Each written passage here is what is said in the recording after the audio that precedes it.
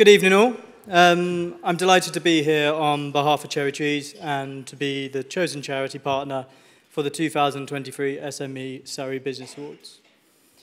Cherry Trees is a wonderful charity that provides support for families who have children with complex disabilities. We provide the practical, emotional, and financial support our families need when they need it. Last year, this came in the form of over 30,000 hours of care. That was 1,512 sleepovers and 603 tea or day visits. On top of this core care, we also support the family with their emotional well-being.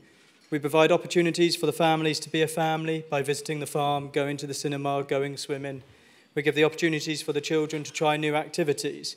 And we support the parents too by doing parents-only events such as cocktail making, fishing, top golf, whatever it might be.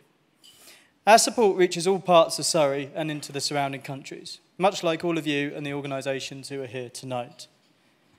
We're delighted and excited to be part of these awards and hope that we can help increase the awareness and engagement of our charity, but also of all of you and the awards too.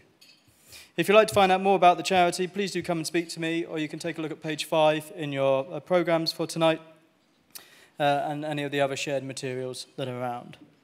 Finally, I'd just like to say thank you to Alan Coleman of Alan Coleman, sorry, of Bentley Surrey, who I believe is here. Are you here, Alan? He's not here. Okay, but the Bentley Surrey are.